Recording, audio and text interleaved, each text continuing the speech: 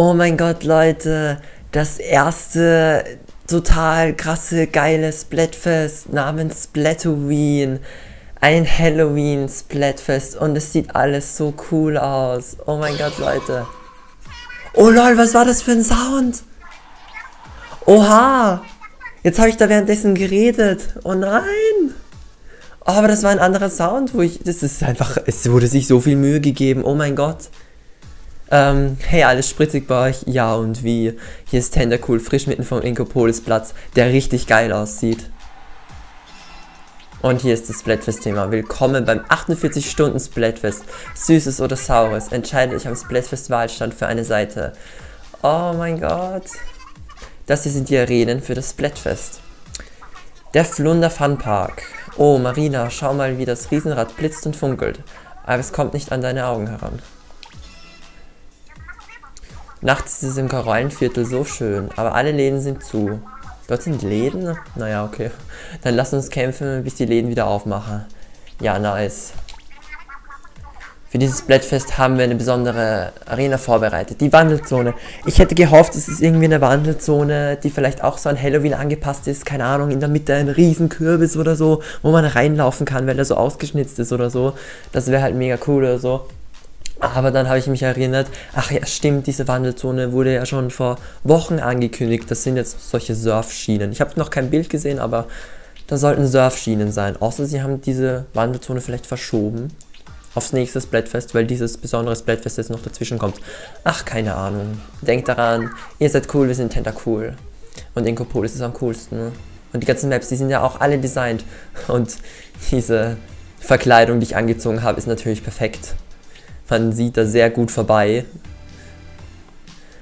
Und hier ist die City. Schön genießen. Wir haben sie nur einmal so und dann nie wieder, was so schade ist. Und da oben haben wir wieder den Mond. Wie ich im, im letzten Splatfest-Video ähm, ja, angesprochen habe. Und diese Details, ah, es gibt, gab nämlich solche extra Kleidungsstücke. Das könnt ihr hier sehen, zum Beispiel diese Hörner oder das, was ich eben auch anhabe. Oder so einen Fischkopf gibt es auch noch. Und noch irgendwas Viertes, glaube ich, gibt es auch noch, aber ich weiß es nicht auswendig. Und die Hörner leuchten so gegen der Nacht. Wie cool ist das denn? Schau, hier hinten leuchten die Hörner. Oh, sie haben sich so viel bemüht. Und hier die, äh, die, die, die Quallen haben auch Kostüme mit. Und, äh, und sind als Geister verkleidet. Und der Mietsrichter hat auch leuchtende Partyhüte auf und die Qualle dort hinten auch. Und der Mietsrichter will mir, glaube ich, eine Muschel geben. Dankeschön. Ich habe die letzten Supermuscheln nicht bekommen, weil ich, ja, zu spät Splatoon gestartet habe, um die Ergebnisse ähm, anzeigen zu lassen und deswegen habe ich die Supermuscheln nicht mehr bekommen, weil dann schon dieses Blackfest angekündigt wurde. Das wurde eine Woche früher angekündigt als normalerweise das Blackfest. Warum? Und hier ist dieses Fischkostüm, was ich gemeint habe. Oh Mann. Und hier die ganzen Neuerungen. Ich habe eben letztens Splatfest-Video darüber geredet, dass ich gerade parallel, bevor ich dieses Video aufgenommen habe, ähm, fertig mache. Und nachdem ich dieses Video aufgenommen habe, muss ich das noch fertig schneiden. Also ja. Und jetzt die richtige Entscheidung treffen. Wir nehmen das süße Team. Beitreten. Hier überall die Dekoration, Leute. Schaut euch das an. Es ist so hübsch alles gemacht. Hier auch an den Wänden. Die Farbwahl für Splatfest ist natürlich auch passend zu Halloween. Und ja, da kriegt man echt so ein Halloween-Gefühl, wenn man diese beiden Farben sieht. Und was richtig toll ist an der Neuerung, ich kann ohne Sorgen einfach Splatfest-Kampf Standard spielen bei meinen Aufnahmen, weil hier gibt es keine Power mehr. Das heißt, meine Power wird nicht zerstört, weil ich noobig bin in meinen Aufnahmen, weil ich irgendwelche Waffen spiele, die ich noch nie gespielt habe und weil ich sowieso keinen Skill habe, wenn ich aufnehme. Und ja, Oha! Wie geil ist das gemacht? Da fliegen überall Tintenfischgeister rum. Mädelstruppe mit Waffenmix. Hilfe. Gang mit Stiefeln. Oh shit. Äh, lol. lol. Okay, jetzt ist alles hell. Ich dachte gerade schon, ist jetzt die ganze Runde so. Ähm, das Bild, ähm, so, so, ja, Sepia-Farben. Ja, ich kann keine äh, Blaster Oh lol, das sieht ja mega witzig aus, wenn die anderen so auf den Surfschienen surfen. Ah, ich bin komplett überfordert. Was ist hier los? Dieser Startbildschirm mit den Sepia-Farben, was ich gerade noch sagen wollte, ist genauso wie bei dem Jubiläumsblättfest. Da war Konfetti halt am Anfang und jetzt hatten wir halt wieder was Cooles. Oh yay. Ich bin richtig gehypt, Leute. So, wie, wie sieht es denn hier so aus? Also ich bin schon über der Mitte. Ich suche mal ein paar Surf... Kann, kann man gegnerischen Surfschienen auch surfen? Kann ich die umfärben? Ja, das funktioniert so wie die Tintenseile. Ob sie sich von selber deaktivieren, weiß ich jetzt nicht. So, wo kann ich denn hier überall hinsurfen? Hallöchen, ich habe echt eine schlechte Reichweite. Ich habe diese Bombe noch nie benutzt. Hilfe. Die ist nämlich neu, die, wenn man da so abshakt, wenn man so rumzappelt. Oh, ich habe nicht genug Tinte. Dann schüttelt man die. Easy. Ähm, und ja, man kann auch den Controller schütteln zusätzlich, aber das will ich nicht machen wegen der Bewegungssteuerung.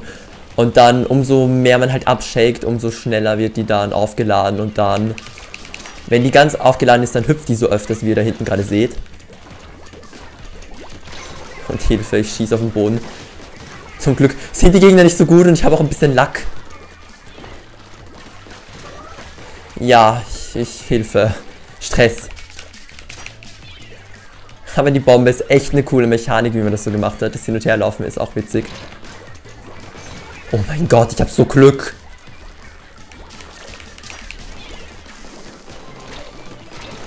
Ich stelle mich aber auch nicht so schlecht an.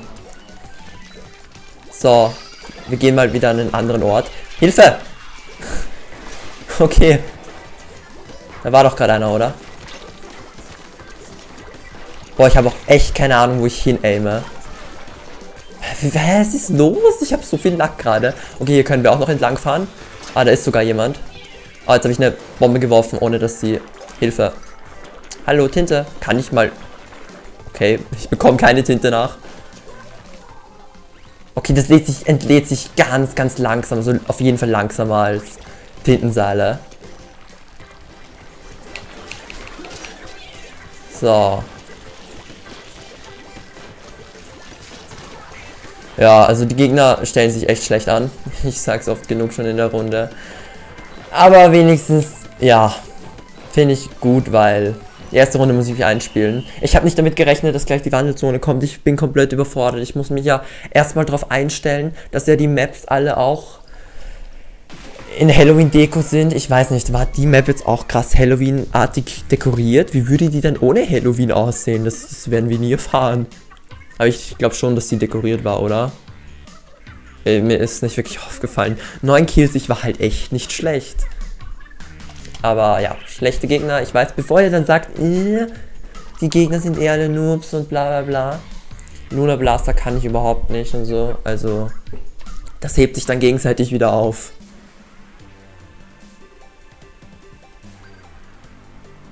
Es sieht so cool aus. Ich will ja nicht sagen. Mädelsbrigade hieß mir vorhin schon so. Ich weiß es nicht mehr. Ich glaube schon, weil eigentlich hat sich niemand krass verändert. Okay. Äh, die Map bei Nacht. Und hier überall so kleine Details, die an Halloween erinnern. Und ja, ich spiele wieder eine neue Tony Kenser Waffe. Diesmal haben wir als Sekundärbombe nichts äh, Neues, aber unsere Spezialwaffe ist die Booyah-Bombe. Und ja, mal schauen, wie das so wird.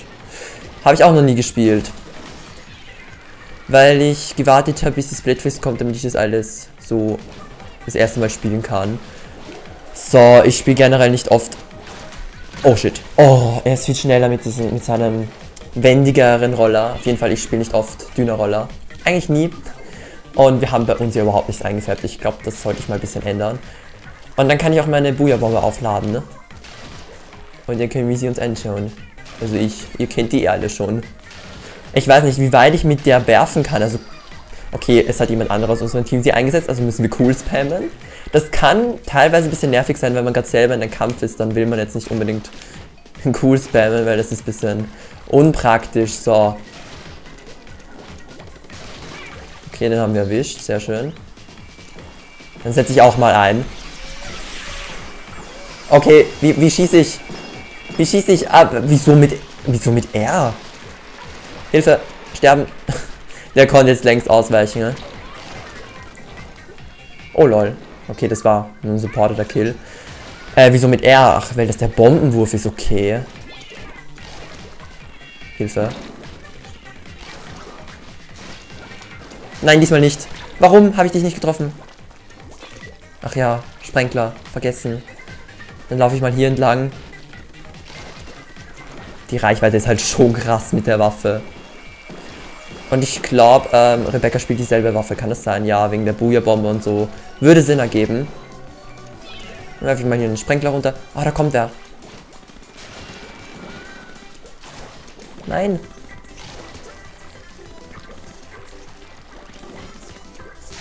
Nein, komm schon.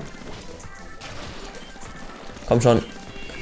Danke. Wow, jetzt wurde das, hätte mir das fast jemand mit, mit einer Sek äh, Sekundärwaffe gestohlen. Und oh mein Gott, ich muss flüchten, ich kann nicht cool spammen, I'm sorry. Nein, ich wollte springen, um weiterzuwerfen. Wisst ihr was? Boom, Explosion in der Mitte. Komm schon, lauft irgendwer rein, bitte. Ja, tatsächlich.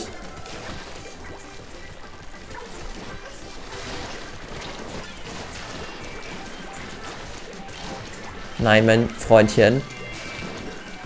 Warum stirbst du nicht? Hilfe! Okay, ich mag Dünnerroller nicht. Bitte schnell Waffenwechsel. Und in die letzte Runde. Ui. Oh. Ja, die Farben sehen echt cool aus. Liegt das. Liegt es an Halloween oder. Weil irgendwie kommen mir die bisschen anders vor, so von. Ich weiß nicht. Die leuchten noch so ein bisschen rundherum, oder? Oder kommt mir das nur so vor? Aber irgendwie schon. Komm schon, jetzt letzte Runde mal 100 Kampf. Los geht's. Bitte. Oder wenigstens mal 10. Das wäre voll cool. Aber mir ist schon klar, dass es natürlich sehr unwahrscheinlich ist. Was?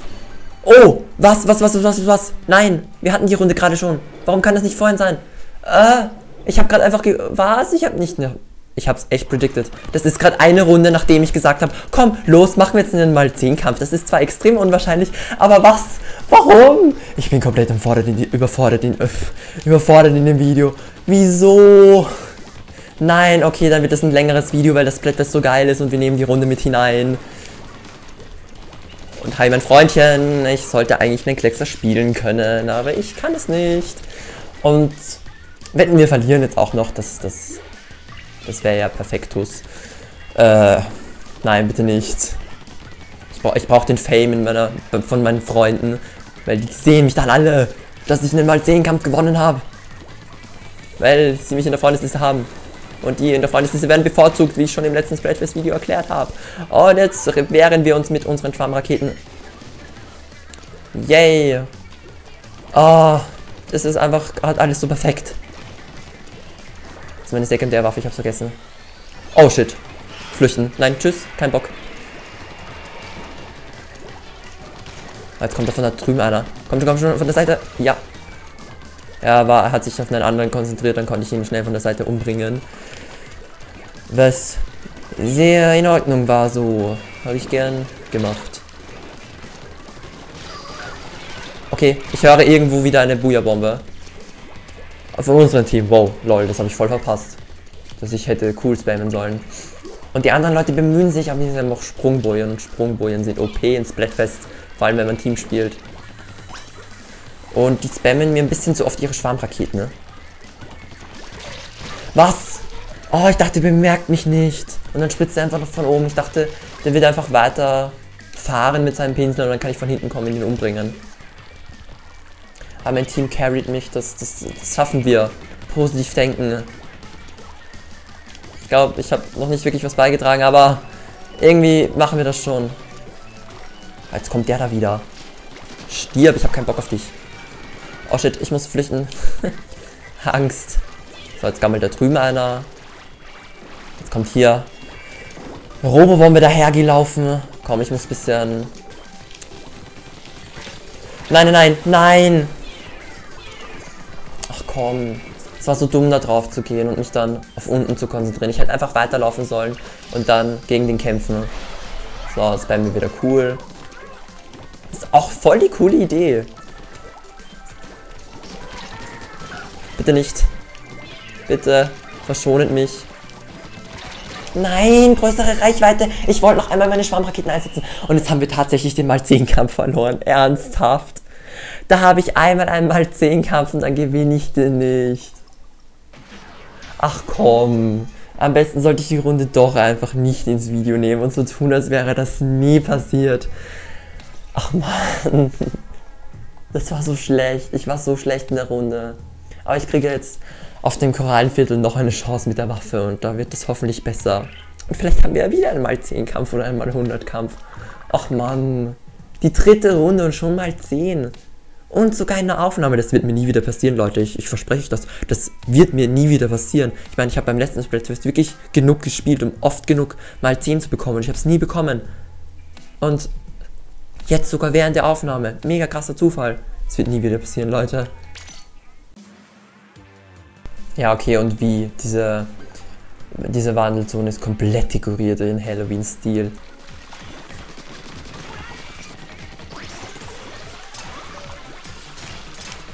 Oh, man kann hier sogar rüberspringen.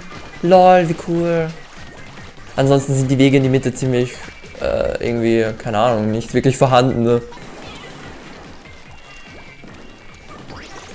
Ah, von hinten hier, so kann man auch noch kommen. Oh Gott, durch die Explosion wurde ich wieder auf die Surfschiene gesch gesch geschossen. Also rückgestoßen, so. Hä, wir haben eigentlich gerade eine Runde verloren, weil Fiona einen Disconnect hatte und jetzt stand einfach trotzdem rechts oben äh, Siege in Folge 4. Hä, das... Äh, hä, warum? Fuck.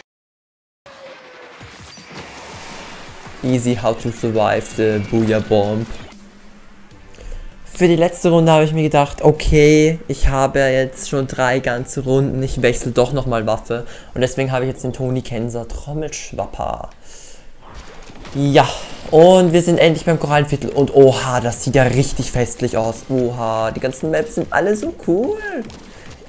Ich würde am liebsten alle spielen, aber nicht mal alle sind beim Splatfest dabei, glaube ich. Also es ist nicht mal möglich und irgendwann muss man ja auch schlafen. Und ich muss jetzt richtig viele Runden, ne? Ähm, oh shit. Wieso lebe ich noch? Diese ganzen Blubberblasen, Hilfe. Ich muss jetzt richtig viele Runden auf die Map warten. Es ist gleich Mapwechsel. Ich hatte schon Angst. Aber jetzt ist wieder alles gut und ich springe jetzt einfach mal Loxy an mit meinem Supersprung, aber irgendwie kommt keiner zu mir her und deswegen mache ich keinen Splashdown. Ja, und in diesen, paar, in diesen paar Runden, wo ich einiges warten musste, war ich mit der Waffe ziemlich gut. Ich hätte gedacht, ich bin mit der schlecht, aber anscheinend habe ich noch meine teilweise vorhandenen Schwapper-Skills in den Genen, die ich hier ein bisschen gebrauchen kann. Nur ich unter unterschätze die ganze die Reichweite, wie ihr seht. Und dann kommt der mit seiner Reichweite. Alles klar. Schwapper, wieso bist du noch immer so stark? Wobei zum Glück spielen ihn mittlerweile nicht mehr so viele. Wobei, nein, nein, nein. Irgendwie spielen ihn noch immer viele, aber er regt mich nicht mehr ganz so auf. Auch wenn ich mich gerade beschwert habe. Farben sehen echt lecker aus. Ich würde am liebsten mich da am Boden legen und reinbeißen. Keine Ahnung. Süßes oder Saures. Ich hole mir erstmal hier das Süße. Ach ja, ich habe noch gar nicht gesagt, warum das Thema. Ja, eigentlich interessiert mich beides nicht. Sowohl nicht Süßes als auch Saures. Also, okay, lol. Ich habe einfach geballert und irgendwann ist er gestorben. Ganz random. Ja, aber wenn man, nicht, wenn man mich jetzt zu Halloween zwingen würde, was willst du lieber machen? Zu Leuten gehen und denen irgendwelche Streiche spielen oder willst du Süßigkeiten haben? Äh, ja, dann nehme ich halt Süßigkeiten. Aber ja, ich bin nicht so, eine, so ein Nascher, also ich nasche halt überhaupt nichts. Also doch, also nicht viel, aber vor allem halt keine Süßigkeiten, nichts Süßes, weil ja, ich bin eher so der salzige Typ. Also jetzt mal stehen bleiben, danke. Und wie die alle laggen, oh mein Gott. Ist ja nicht normal. So, wo seid ihr denn, Leute?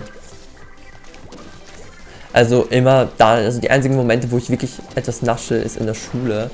Weil mir meine Mutter irgendwas Süßes in die Außenbox reingibt. Stirb, Mutter. Hallo. Wie schnell regenerierst du bitte deine Leben? Und ja, mein Aim ist jetzt schlechter, das ist halt, weil das jetzt wieder eine Runde ist, wo ich einen Commentary mache. Und wo ist der hin? Hä? Ja, wow, als ob ich nicht mal gehen treffe.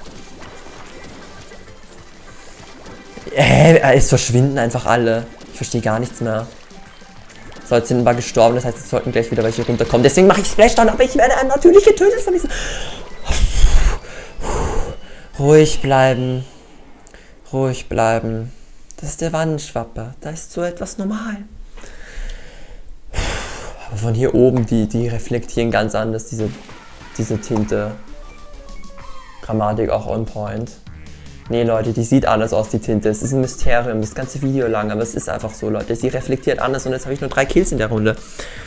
Äh, ich schneide wahrscheinlich, ich, vielleicht schneide ich einfach rein, wie ich ein paar Kills gemacht habe mit der Waffe.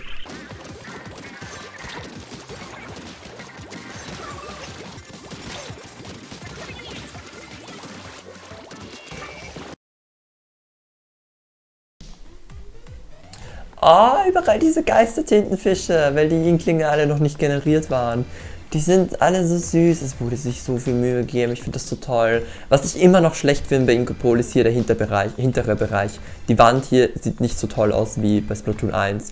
Ich muss noch ein bisschen rumlaufen, ich muss mir noch ein paar Sachen ansehen. Sieht man hier irgendwas?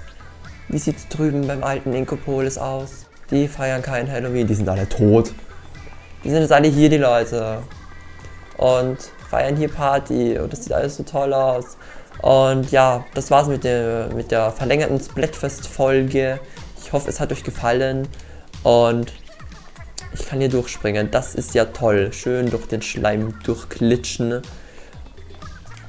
Und hier Spaß haben. Warte, warte. Oh mein Gott, das sieht einfach perfekt aus mit dieser, mit dieser Fresse.